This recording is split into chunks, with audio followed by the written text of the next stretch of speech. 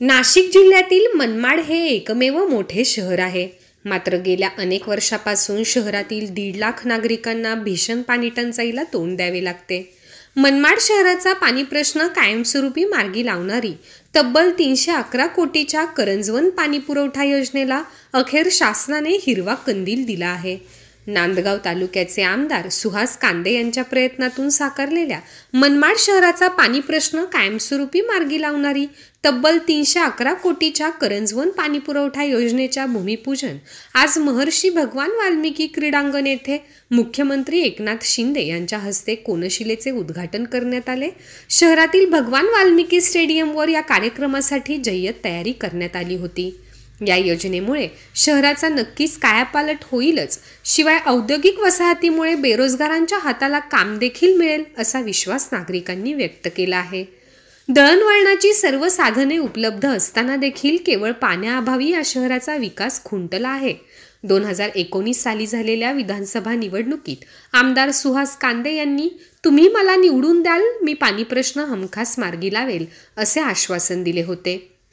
जनतेने त्यांना निवडून दिल्यानंतर त्यांनी शासन दरबारी प्रलंबित असलेल्या करंजवन पाणी पुरवठा योजनेचा पाठपुरावा केला. त्यांच्या या पाठपुराव्याला यश आले. या योजनेला शासनाने केवळ हिरवा कंदीलच दिला नाही तर त्यासाठी निधींची तरतूद देखील केली आहे.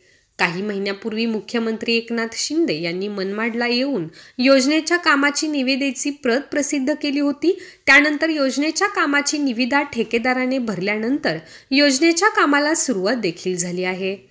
मनमाडकरांची पाणी टंचाई कायमस्वरूपी संपुष्टात आणणाऱ्या या ऐतिहासिक सोहळ्यात उद्योगमंत्री उदय सावंत पालकमंत्री दादा भुसे आरोग्यमंत्री तानाजी सावंत पाणी पुरवठा मंत्री गुलाबराव पाटील आदी मान्यवर उपस्थित होते.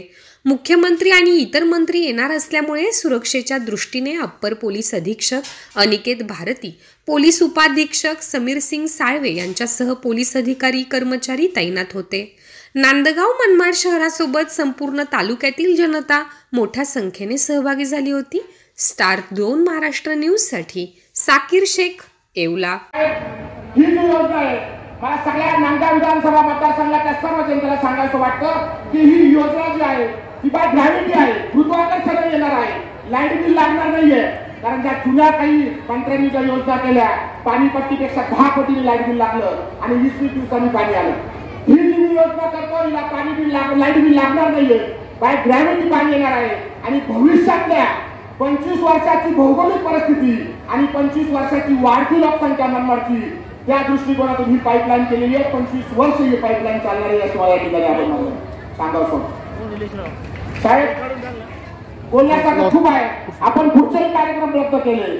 परंतु मला कार्यक्रम त्यांची भूमिका जी होती ते आदर्श मानून आपण हे सरकार स्थापन केले सर्वसामान्य लोकांना न्याय मिळायला पाहिजे. म्हणून हे सरकार आपण स्थापन केले आणि म्हणून आज आपण जर पाहिलं तर मुंबई असे शहर आहेत मनमाड. अगदी किती एक दीड लाख लोक दीड लाख लोकांच्या लोकसंख्येचं हे मनमाड शहर. परंतु आज मी येताना पाहिलं की पाणी योजना किती महत्वाची आहे. मला सुहासांनी सांगितले सगळे व्यापारी आज आपली दुकानं बंद करून या सभेला आले. याच कारण त्याला झाला आनंद. एवढा आनंद त्यांना झाला की आज म्हणाले की पहिल्या या पाणी पुरवठा योजना जी आहे त्यांच्या आयुष्यामध्ये एक आमूलाग्र बदल घडवणारी योजना आणि हे जीवन आहे मगाशी म्हटलं. सगळ्यांना पाणी लागतं. आणि म्हणून जे अनेक वर्ष प्रलंबित असलेला जो काही प्रश्न आहे हे सगळे व्यापारी रस्त्यावर येताना देखील पाहिलं. हजारो लोक या कार्यक्रमासाठी उत्सुकतेने वाट पाहत होते. आणि म्हणून काय एवढे वर्ष थांबलं? त्याच्या मुळाशी मी जात नाही. परंतु गुलाबराव जे म्हणाले की हे जे काम सुहासांनी केलेलं आहे हे सुहासांनाचं काम महिला भगिनींच्या किती फायद्याचं आहे? आणि महिला शक्ती ज्याच्या मागे उभे राहते त्याला कोणी मागे टाकू शकत नाही. खरं म्हणजे आपल्याला एवढा कसा कळ काढता आपण? आणि जेव्हा मला सुहास कांदेने सांगितलं की अशी परिस्थिती आहे त्यावेळेस मी त्यांना सांगितलं तात्काळ ही योजना नगर विकास खात्याच्या माध्यमातून आपण मंजूर करूया. त्यांनी मला सांगितलं आमच्या नगरपालिकेकडे जो योजनेसाठी जो हिस्सा द्यायचा आहे तो देण्याची आमच्या नगरपालिकेची कुवत नाही.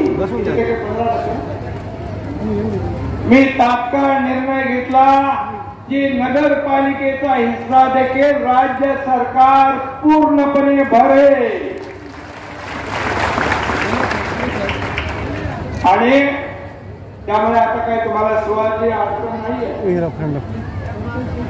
शेवटी पाणी हे जीवन पाणी आपल्याला एक एक महिना मिळत नसेल तर काय उपयोग आहे आमचा? राज्यकर्ते कशाला पाहिजे? आणि म्हणून गुलाबराव पाणी मंत्री काय हे पाणी मंत्री पण मगाशी म्हणाले त्यांना पण बरोबर खातं दिलंय जवळपास. ग्रामीण भागात अठरा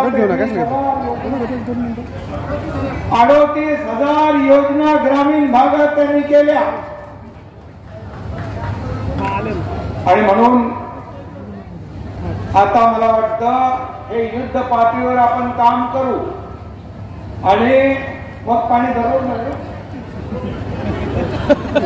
दररोज पाणी मिळण्याची व्यवस्था या ठिकाणी केली जाईल. रोजच्या रोज जसं इतर लोकांना मिळतं तुम्ही काय घोडा मारलाय? तुम्ही काय पाप केलं?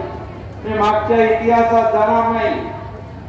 या ठिकाणी एवढंच सांगतो ज्या योजना जेव्हा देवेंद्र फडणवीस साहेब मुख्यमंत्री होते मी त्यांच्या मंत्रिमंडळात सहकारी मंत्री होतो. योजना सुरू झाल्या. या राज्यामध्ये जलसिंचन योजना छोटी मोठी धरणं असतील सुरू झाल्यानंतर मधल्या अडीच वर्षामध्ये